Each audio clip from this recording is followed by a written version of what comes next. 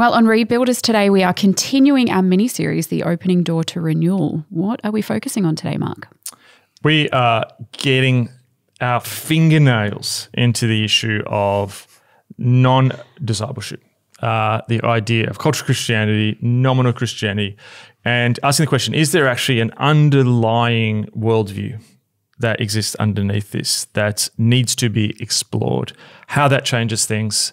Uh, and we're also going to look at augmented reality Ooh. and uh, what that means for us in leading. And what if your church has become a floating signifier? Ooh, ah, many uh, tantalizing little clues there. So, if you would like to know more about the things that we reference in this episode, you can subscribe to our mailing list by heading to rebuilders.co and subscribing there. Let's go for it. Roger, Roger, and out. Hi, welcome to Rebuilders. My name's Liddy, and I'm here with Mark and Daniel. How are you both? Good. Fantastic. Yeah? Great. C- Can I begin by rumor mongering? Oh, monger away. Uh, I heard a rumor hot on the street. Which street? My my street. yes. And it, well, yes. You know, we've had a few hot days. Yes. Kangaroos as well. Was this not a kangaroo related? I mean, street. My street has been. We've moved from pastries to my street, but um. so The hot topic of the our coping Rebuilders mechanism. podcast. yeah, coping next is well, we've got freedom now, so we can run down the streets. um, so on the weekend, uh, uh, uh, my co-host, that's you, Liddy. Oh, yes, um, For the audience at home, uh, went uh, with my wife uh, and my children Yes, to the beach. I did. It Um, was a great day. I I protested um, by staying home in a silent protest, um, which I, Mark I hates sand. yeah I protested by watching TV in the air conditioning. You rebel. Yeah, I'm, an, I'm a revolutionary from way back. Uh, I'm leading a revolution from my couch. Um, and uh, the rumor, the hot rumor on my street, which I have not spoken to you about, but uh, was that uh, one of my neighbors came across. My wife was driving. You were in the front seat, and one of my neighbors came across and mistook you for my 14 year old daughter, asking you how high school was going. yeah, look, he it did. going? yeah, it's going really well. Great. Um, I have finished high school. I went back to high school as a teacher, Yeah. and then have also left high school again. That's a pretty So- good. Like you've gone from being in high school to being a high school teacher, and now people think that you're back in high school again. It's like 21 Jump Street. I've not seen it. I reckon I watched the first ten minutes of that. Okay, it's not a movie. It's a to a to you youngins. It's it's it's a movie. It's not a TV remake. Wasn't there some rubbish remake? yeah, Oh, it had um Channing Tatum. Channing Tatum. I haven't seen it. I haven't seen that. I haven't seen Johnny the TV Depp. show. Johnny Depp was in the original. Yeah, he's been cancelled, Mark. Uh, well, he was he was eaten a bit when I was young. I know he's been cancelled now, but you know memories. Yeah. Don't, don't don't cancel my memories. Okay, well, I won't. Um, yes, well, just so you know, your neighbour was set straight, although I don't think he really understood what was going on. No, that's that's. So I think it's probably less that I am youthful looking, although thanks, um, and probably more that he couldn't see who was in the front seat. don't make excuses for your youthfulness. Righto. All right. Okay, let's get into it. So last week we started the mini series, The Opening Door to Renewal, and we're going to continue that today, um, talking about uncovering hidden practical theologies. Yeah. So, yeah, let's. How about start by giving us a bit of a framework as to what a practical theology is, Yes. or what it what Yes. it means. So we're in the midst of a series called "The Opening Door to Renewal." Yeah, And we looked at last week how renewal, according to Dallas Willard, is actually, uh, or awakenings and revivals, are when people rediscover discipleship, yeah, following Jesus with the whole of their lives. And we talked about last week that one of the big problems in the sort of Western contemporary church is that in many ways that vision has been lost, and that many churches that many of us would, um, not everyone is listening, but you know many of us would um, be part of, actually came out of this tradition of challenging people who were in uh, let's call them mainline or established churches to enter into a kind of renewal awakening through giving the whole of their lives to God and being fully obedient. But that what had happened is that something had shifted, and that over the last few decades, particularly since World War II, Willard argued that um, non obedience, non discipleship had become normative in many churches, where being born again was more about believing a few set of doctrine, um, whether that or not that transformed your life. And uh, that's a summary of last week, but really wanted to talk about uh, this week the idea that if we're going to really grapple with this, um, and if we're going to really grapple with the implications of what uh, is getting past this barrier of doing ministry with often where a majority of the, the uh, congregation is stuck in this position of, of non obedience, uh, cultural Christianity. You know, how do you exist in this place? And so to do that, I think it's really helpful to, uh, or how do you not exist in this place? How do you, you know, have a flourishing ministry which leads people towards discipleship in such an environment? Yeah. to to do this, I think, and this is what we really want to dig in today. Um, Willard also talked about something else, which I think is a really key concept in his book, The Spirit of the Disciplines, which is understanding that everyone operates from a practical theology. Now, what does he mean by that? Firstly, to understand that, we have to understand that one of the myths that we've had is that there are people who are serious about theology and discipleship, and then everyone else is doing their thing. They're just living their life and that there's the people who are serious about their faith and they have a theology, they have a doctrine, they've got a dogma which is driving them, and they're living out these values in, in this sort of you know key directed discipled way. And Willard argued that everyone is discipled. Yeah. Um, and he's got a great quote. He says this He says, Everyone has a practical theology, even if it's only the purely negative one of the atheist. And everyone's practical theology vitally affects the course of his or her life. A thoughtless or uninformed theology grips and guides our life with just as great a force as does a thoughtful and informed one. Hmm. And so I think one of the great myths of post Christianity and secularism is that theology is irrelevant. People don't have a practical theology. But Willard's arguing a very different point that we need to get to grips with here that everyone has a practical theology, whether they know it or not. So we're all operating out of a particular belief system, hmm. Whether we know it or not. Yes. Yeah. Yes. So our thoughts and our actions are based on something. They're coming from somewhere. Yeah. Yes. Just because you're not a Christian doesn't mean you don't have them. exactly. So, what are our un- unexamined practical theologies? Okay, so if, if you look at the the contemporary world, there would be many unexamined practical theologies that people are living from. If you even think of your friends, you go, oh, that person's sort of living from that life script. That person just wants to live for the weekend. That person's defined by their work. You know, so many different things. Um, this person's into wellness. This person's, you know, is a rationalist. But underneath all of them, I was trying to think like what, what's sort of almost a, a- a root belief that's underneath all of them. And I want to argue that one of the great beliefs um, that took hold in the West is something that I've called the secular Sabbath. Okay. The secular Sabbath. So it's almost a meta theology. And I think it's one of our great hidden practical theologies that is unexamined by people, but hugely powerful. Now, to understand what I mean by this, often when we think of Sabbath, we tend to think of taking a Sunday off, taking a Saturday off. Um, yep. You know, there's been, um, you know, a real re-interest in, is that a word? Re-interest?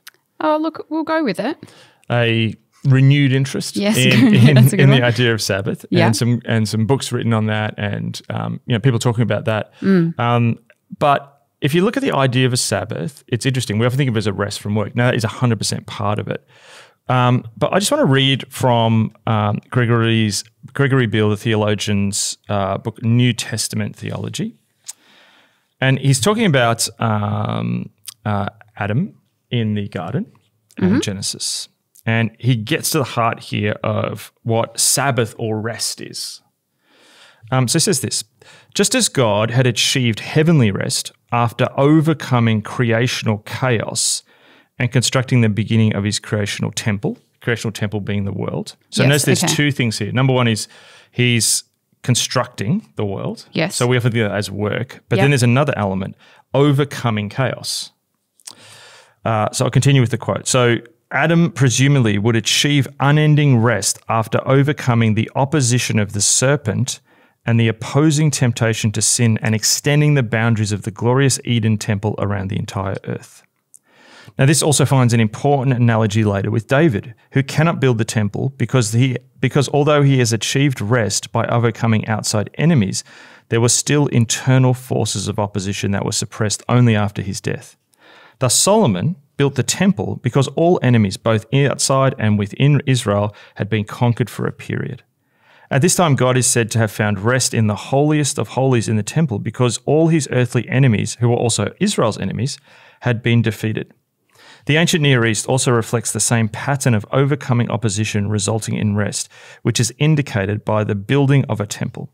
So the idea is that Sabbath, rest, is connected to, yes, resting from work, mm-hmm. but overcoming enemies. And once you've overcome your enemies externally and internally, then you can rest. And then you live in this temple space. Mm. Now, in many ways, if you think about our world and you think about the ideology of our world, particularly in the end of the 20th century and into the 21st century, if you think about how we see the world, I think there's a real analogy here.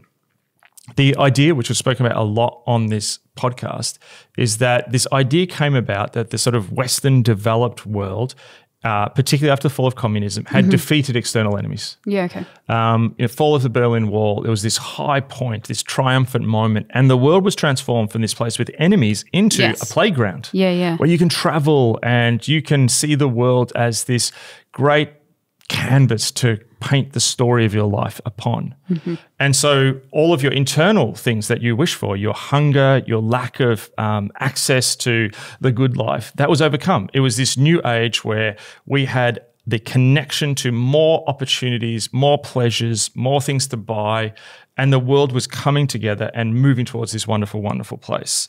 So it's this idea that of the world, if you if you see that what the world became, the ideology of the world, it was a secularized version of that Genesis vision of God overcoming enemies external and internal Yes. and a temple built for God's flourishing, our flourishing. But in this vision, humans replace God Yes. And humans, not only humans, it's really the the West or the developed world. And the West and the developed world has overcome all its external enemies. And the world is now this place where you can flourish and we can rest and we can have this Sabbath. So it's a secularized version of the day of the Lord. Um, and so, therefore, the vision then had what sort of practical theology does that say to people? It says, well, the world is your playground. Go forth and you know multiply a catalog of wonderful experiences. And post them all on Instagram. Exactly.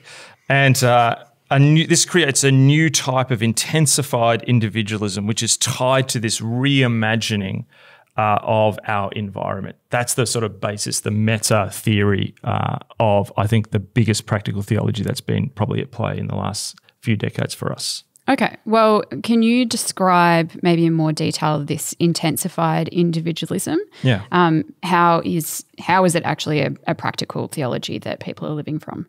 So I just want to break it down into three key elements. Um, so first of all, is that it's a therapeutic individualism. Therapy, therapeutic comes from the word of feelings. So basically, the practical theology, this practical theology is based upon the belief that human flourishing is found in accumulating as many good feelings as possible. If the external enemies have been defeated, if the internal enemies have been defeated, you're free to just enjoy life. Yeah. To if the world's your playground, go forth and multiply good feelings in yourself. That is the highest. If God, if if humanity's replaced God, the highest we can wish for then is to accumulate good feelings. The second one hmm. is experiential individualism. So that's a sense like the mode of doing that. So the practical theology here is based on the belief that human flourishing is found in accumulating as many positive experiences as possible. So if you want the good feelings, you've got to have lots of good experiences. Yes. Okay. The third element is consumerist individualism. That's the practical theology that's based on the belief that human flourishing is found in accumulating high value possessions. So, good feelings, good experiences, good possessions. Well, that all sounds really great, though. um, maybe not. How has it affected the church? Okay, so this is where it gets really interesting. So, if that's how we understand the environment of the world, if the practical theology is that the world is there and the external and internal enemies have been conquered, and already I can think some people saying, hang on, but is that true? We'll get to that. Um, uh, that it's a re-understanding, a repainting over the human environment, the world. And if you think about back to that Beale quote, he talks about that the world was created as a creational temple. Yes. And a creational temple is created to house the presence of God. Right. Okay, so we then have a world without the presence of God. Yep. And naturally, because if that's this sort of uh, practical theology of the world, if that's the dominant ideology, it's inevitable that will begin to affect the architectural structure of our churches. And we can Right. look at that in a really practical bricks and mortar sense. Yeah. So if you think about a lot of contemporary churches, you know, we had this move where we got rid of got rid of windows. They almost became enclosed in spaces, and it was this enclosed in space where which was facilitated for having an experience. If you think of cathedrals, you know, in the middle, medieval periods, it was sort of used as these teaching tools. There was lots of um, they were multimedia devices. Yes. The, the, the, the cathedral with stained glass windows and uh, sculptures. Yeah, and- iconography and, and even the structure was like a cross and your Yeah. eyes went upwards and it was sort of this transcendent space interestingly sort of these churches it's almost an imminent internal space of Mm. like to enter into worship to to enter into this place you know it's well sound uh, Yeah. good for projections uh, on on the back of the screen um so in a sense what happened was that many churches at a physical level unintentionally became sort of like architectural spaces uh, in which you know it was also to help you have good feelings Yes, to okay. a place where you would have those experiences and in some ways sort of offering through programs and so on sort of religious consumerist um, things Yeah. um, all of which were add-ons to the individualist life script that you're already living wow. a little bit like a booster booster rocket theology, where the space shuttle got into orbit through a booster rocket, but once it got into the orbit it wanted, it discarded the booster rocket. So faith becomes the booster rocket to get you into your into your orbit. And in many ways, um, also what happened though was the mental image of the church changed. Now, there's some people listening going, okay, that's, I know those churches that are like that. My church is not like that. My Yeah. church didn't change physically, bricks and mortar. But what happened, and this is where people miss out, there's a two way street here. This is not just in an individualist world, it's not just the command and control structures at the center of the culture, which is determining everything, say perhaps in the medieval church, where the, the central authorities of the church were determining you know, the story of reality. In individualism, the individual is determining the story of reality. And so what happens then is that in many ways, uh, that that people begin to mentally change the architecture of the church themselves, whether the architecture of that church has changed or not. But how? How can the mental architecture of a church be unintentionally changed? Okay, so one of the questions that many people are asking is with the rise of the metaverse, and we talked about the metaverse in this in this podcast, and particularly I think it, it gained uh, you know notoriety with um, Facebook rebranding as Meta and their big launch around that. Yeah. So you got people asking questions, you know, like should my church be in virtual reality? Should my church be in the metaverse? And more and more I've thought about it. I think the answer to that is before we even get to there is the realization is you're already in it, mate. You've actually been living in a metaverse for 10 years. and that actually what has happened is that as intensified individualism has spread throughout the world, and that's been married with this new digital reality, Yeah. is what that means is we can reinterpret spaces as we want to see them. We can reinterpret we, you know, like if, if what happens is a space, then if, if the values of the society is the world is your playground, you can self create, the world is what you want to make it, external and internal enemies have been defeated, you can then repurpose and refashion in your mind any space that you want to. So, what mm-hmm. that means is you can have a church where they're trying to achieve everything we're talking about here take the church into a renewal, take the church into, you know, discipleship, preach the gospel of Jesus Christ. But the people coming in, even without necessarily a technological device, because our brains have been reprogrammed by this deep mm. ideology of the secular Sabbath, is that we're repurposing it in our mind as a space which is going to serve our needs. This is not just true of the church, it's true of so many things. Mm. So the environment then becomes almost like a raw material for the individual to use in their process of self transformation, self creation Yes. With this ideology operating underneath. I remember being in New York, walking down some street somewhere, pretty nondescript street, and um, I'm just walking, going to a meeting or something, and there's just people all around me taking photos. You know, so boring. It's like 10 o'clock in the morning, boring, pretty nondescript street in Manhattan. And yet people are taking all these photos. And what they're doing is they're recreating that raw material Yes. of New York. New York is a real living city with people who've lived there their whole lives with Yes. interesting bits, boring bits, beautiful bits, ugly bits, like every city in the world. But the photos that they're taking is what they're extracting is this New York experience. Yes. Um, it can be the same in Melbourne. Here, you know, Melbourne. It's interesting. Um, I was listening to Spotify on the way here, and there was an ad came up, and it was like Melbourne's all about FOMO. There are so many things happening in Melbourne. It was just like this ad of like how awesome Melbourne is and all this stuff happening. And you know, I thought like I was in I was in the central business district of our city on the weekend, and so much stuff is shut. It's a ghost town after the pandemic. Yeah, yeah. And what I realized, what this ad is doing is it's encouraging people to go back into town, access experiences, to have good feelings, take the raw materials of the bricks and mortar of Melbourne and transform it back into what it was Yes. this space which Yes. had all these different meanings written over it. So, what that means is that the world is our raw material. However, we then have to keep intensifying this process mm. to maintain the illusion of the secular Sabbath. Because if the highest value of our culture is that actually it's all about having good feelings, mm-hmm. it becomes harder to actually hold that together when we don't have good feelings. So there's this cognitive dissonance that's breaking into the world. And I think we'll talk about this in the next episode. But what's happened is there's been all these shocks where that story that you live in a secular Sabbath, it, it's being broken apart as we you know, report it. As we're recording this, you know, the world is sort of waiting with bated breath. Will Russia invade Ukraine? Uh, we've had coronavirus. There's environmental challenges. There's all these things that happen in the world. Yes. And that that ideology is teetering of the secular Sabbath. So the more that happens, the more we want to push into good feelings. But people keep saying, if I'm what, you know, I've been told that the most important thing is to have good feelings, but I feel so rubbish and anxious about my life. We also see people who are trying to find deeper stories of meaning that are beyond just the augmentation of experiences and feelings. They're looking for something deeper. And so, what that means is an augmented reality space in our world actually is becoming an increasingly more toxic, toxic and emotionally uh, contested space. And well, as as leaders, it does affect us, but how? Like how can how do we respond to it? How do we see how it's affecting us? Yeah. So the sort of anthropologist um, Levi Strauss, Claude Levi Strauss, talked about this idea of a floating signifier.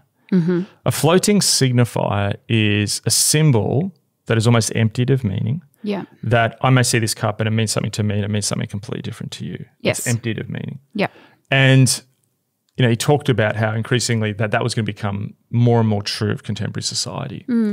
And so, in this world where individuals have seen the world as this neutral space, a playground which you can self-create in, everything's up for grabs. Everything's everything is what you want to make it. Um, and basically, what that means is our churches have become this thing which people come in, and often despite our programs, they're interpreting all that through their own lenses, and church has become a floating signifier. Yes. But I think that the starting point is there has to be a push back against this. What is happening, what ultimately cultural Christianity is, what nominal Christianity is, what non obedience is, of people coming to churches, uh, attending churches who are not intent on giving the whole of their lives to Jesus is that what is happening is they're using the church as a floating signifier. They are using the church to advance what they see as the goals of this life project as promised to them by the ideology of our age. Now, at the center of that is that I think so many people listening to this feel a sense that actually they themselves, as leaders, as pastors, as ministers, have become floating signifiers. You have people writing all kinds of meaning all over you. To one person, you're this source of frustration. To another, you're the one who's going to save them and help them finally have good feelings. Uh, to some people, you're too liberal. To others, you're too conservative. To some people, you're too pushing into changing church. You're not. You're letting it change too much. Uh, to some, you should be following this political program. To others, you should be resisting that political program. And I think a lot of what people are going through at the moment is we're caught in this battlefield, a battlefield of meaning. Yet no one's named that because the great ideology of our age is falling down. And that can bring up a whole bunch of stuff in us. We, if we are also raised in this great ideology of this great secular Sabbath where we have defeated the external and internal enemies and we should have this wonderful life with a catalogue of good experiences, you may wonder why you're not having a catalogue of good experiences. Part of the answers that's been given is to go deeper into yourself in a Christian way of finding all the different Christian pro- personality profiles that you can find. Yeah. But it's almost like the more we understand about ourselves, the more we have to distance from the world because the world is becoming this increasingly fractious and fragmented place. And so there's this sense that as an augmented reality becomes an increasingly more emotionally toxic place, there has to be a stopping point. There has to be a sort of resistance that comes from leaders. So I, I imagine that there are many leaders who are recognizing what you're talking about in themselves um, and maybe seeing that they've become this way. Uh, what's the way out? I think the way out is through a really simple statement. Okay. The simple statement, I think the beginning of what will be a program of reinstigating the true call of Jesus to go into all the world, mm-hmm. make disciples, begins with leaders realizing that you're not a floating signifier. You are not this person who has been tasked with delivering good feelings to people. You are not a leader who is there to simply deliver the wants and needs of congregations of people who hmm. don't fully want to follow with the whole of their lives, who are actually living out an alternate ideology. You are not a floating signifier. You're not an empty meme to be interpreted. There is this great story. We've talked a lot about Mike Goheen's book about the theology of Lesslie Newbigin. And in that, he talks about spending time. Mike Goheen talks about spending time with Newbigin. They were going to go and speak somewhere. And Mike was really nervous, he describes in the book, about how this audience, uh, who a lot of them were more theologically liberal than Newbigin and Mike was, and Mike was nervous Yeah. and he was heading into this this uh, meeting, and um, basically he expressed his his worry from memory for the story to to Newbigin, and Newbigin essentially, I think he took his hand and then sort of dropped his hand, and he said he said essentially, I'm paraphrasing, he said, "My job is to simply preach the gospel, deliver." God's message. Hmm. My responsibility is not how they respond, essentially, is hmm. what he's saying. And I feel this sense that a lot of people, because of the ideological structure of this day, Yeah. Have this sense that it's actually their responsibility to to deliver all these false expectations that mm. people have. Who are you? you? You are called by God. If you're listeners and you're a leader and you're in ministry, you are called by God. You are called to preach His gospel. You are called to announce His kingdom. You are called to be obedient. That's actually the starting point. That's the beginning point. Those who want to follow you in those things are the ones who are going to follow you in those things.